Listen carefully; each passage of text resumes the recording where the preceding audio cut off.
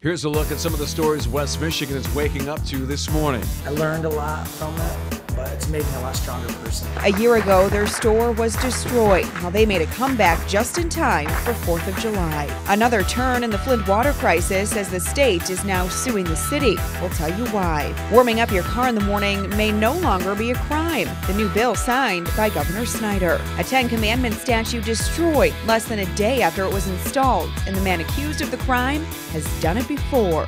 Field of Flight makes its return this weekend. How weather could affect the festivities. And there was a little kitten stuck up in here, like about right here. The littlest inmate in this jail just wants to get out. How this kitty finally escaped. Fox 17 Morning News continues right now.